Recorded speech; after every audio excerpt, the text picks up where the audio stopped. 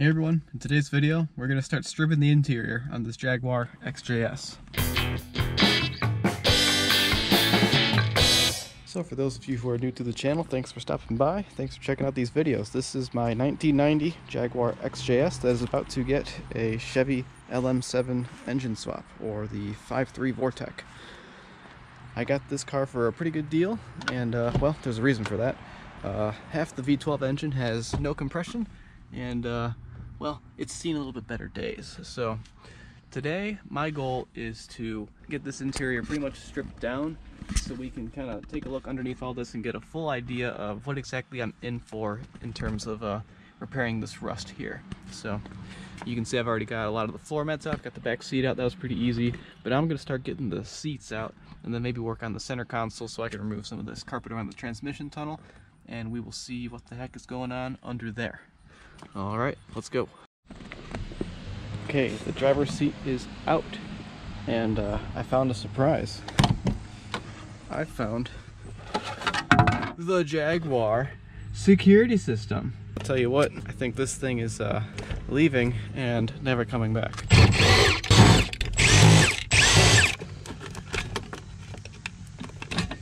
Also, thank you, in-laws. This is an excellent uh, present. Thanks so much. I know you're watching. Okay, I'm an engineer by trade, mechanical, and uh, I'm gonna take some time to complain about things I'm seeing here. So, you know, right here, this is the rear seat bolt, you know, pretty typical, you know, threaded thing on this little tower, whatever. Up here, guess what? There's a nut down there. What the heck? All right, passenger seat is out. It's uh, not as bad over here as it was on the uh, driver's side, but that is until you start pulling this carpet back. I will show you. There is actually a hole in the floor right here. Right there. You can see in there that is a hole going straight to the ground. Um, that is not the worst thing in the world. Because like, I was expecting this to be a lot worse, but if you look under here, like, this is all great. If you look right in here, right by the uh, this seam, kind of where the transmission tunnel runs, everything is pretty clean. I mean, there's not that much rust. And all this happened from inside really, because I think that this car um, had some water issues from sitting outside and the waters had nowhere to go. It's just kind of sat there and collected there. And then people getting in with like salt on their feet in the winter time probably adds to uh, the corrosive nature of the stuff that's been here. So that's a little bit better than I was expecting, honestly. Um, all this stuff, still solid. You know, I'm not poking any holes through it by doing that. But I wonder if we have the same thing on the other side. So let's go check. Yeah, like I said, firewall's over here, but uh, you know, this is all on the inside, underneath the car it's not bad. So once this is cleaned up, I think it'll be okay. So let's take a look back here. See what's really fun about this car is they glued everything. Everything is glued. So it's nothing but a pain in the butt to get stuff out of here. All right, let's take a look underneath.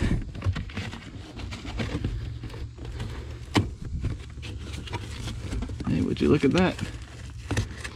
solid, no holes. I'm happy about that. So this side, all it's gonna need is a good cleaning and some uh, new paint or something. And then we'll be good to go over here. Look at all this adhesive. Like, it's just gross, man. Everything in this car is held in with an adhesive. And it's so gross and so sticky. I gotta wear gloves. Fun fact, this is how you uh, install an aftermarket CD changer. You uh, tap into the fuse box just like this, you know, because that's okay. Nothing could possibly go wrong there. I'm starting to take out the center console here and I had a little bit of trouble trying to figure out like you know how the heck do you get this off? It said to remove this vinyl thing. I can't quite figure out how to get that off with this. But uh, one thing I did figure out that took me a little bit was uh, to remove this panel right here, well one, you've got this bezel here that comes right off, and then this panel is held in with two very interesting nuts around each control. It's like, uh, see it's got like two slots on it, and it holds this panel in place. I was able to get them off with uh, just needle nose pliers. They were really loose actually, and I just kind of poked them both in there and started turning. So I was able to catch it that way. And now, this thing's pretty loose and it should come out and I should be able to lift the center console out. Because what I'm really trying to do is uh, remove this aftermarket CD player junk so I can uh, unplug it from the back of here uh, properly. Okay, got the uh, center console out. These connectors for the heated seats and lumbar adjustment are absolutely killer to get apart. They're uh, very interesting connectors, haven't seen them before. This is an interesting panel. It's kind of, these things are held in by like bent aluminum foil almost. It's kind of funny, but uh, yeah, this just kind of stays here. Um, but really, it's not too bad under here. I was hoping I wouldn't find like any bad rust or anything, and I don't think I've found that yet. You may be thinking, what the hell am I doing in this car right now with no interior? It's hailing, and it's really loud. Well, let me tell you. When I took the back seat out of here, this was filled with water, which means that there's a leak somewhere in this car. Now it's already rained once since I got at the interior, and I know that water likes to form around here. And then it drains down and, and forms around here. I'm just kind of waiting around right now to see uh, if I see any more water entering the vehicle, because we're definitely going to want to make sure that's uh, taken care of when we get this on the road. Oh, I think I see it right now. Yep, there it is. Look at all that water. That is a massive amount of water that's forming up there, so... I need to figure out where the hell that's coming from. Probably should have removed uh, this carpet, but, you know, here we are. Is it happening over here too? I don't see it as much over here. So, this is interesting. This is good stuff. Oh, there's rust right there. That's probably quite bad. Oh, there it is. I found it. Do y'all see it? There it is, right there. Looks like the uh, the seam of the window is uh, where the water's coming in. It even kind of pools up there too. So that'll be a fun thing to address when it comes time to address it. Okay, I got that top piece out.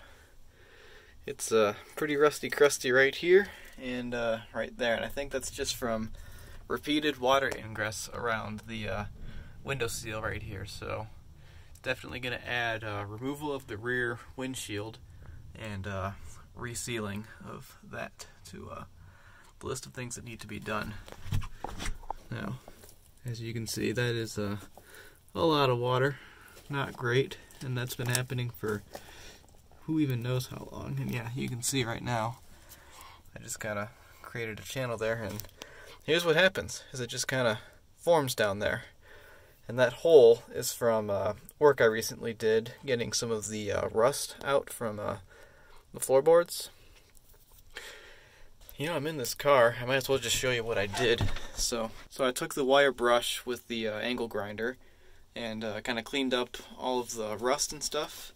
Uh, this side's not too bad, you know, we exposed one of those plugs It was completely corroded.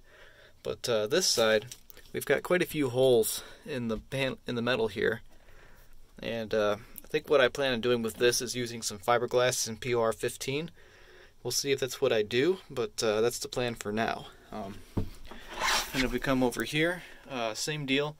Took the wire brush to the floor pan and we exposed a few new holes in the floor pan here. So that's not great, but what's good is there's lots of good metal left.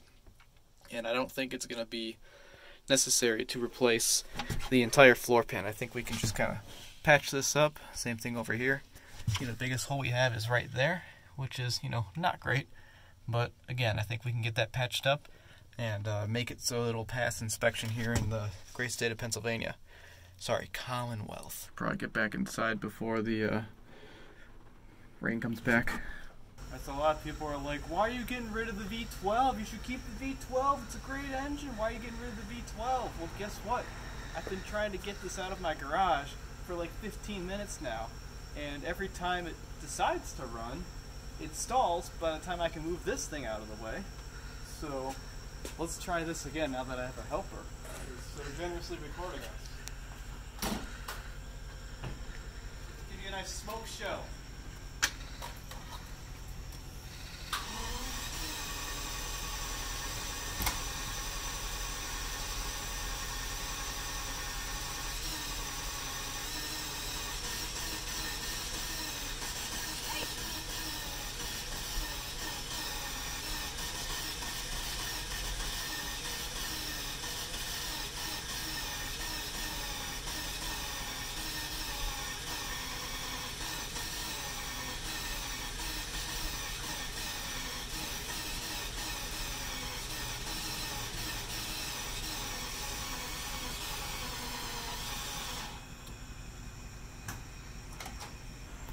Smoke show.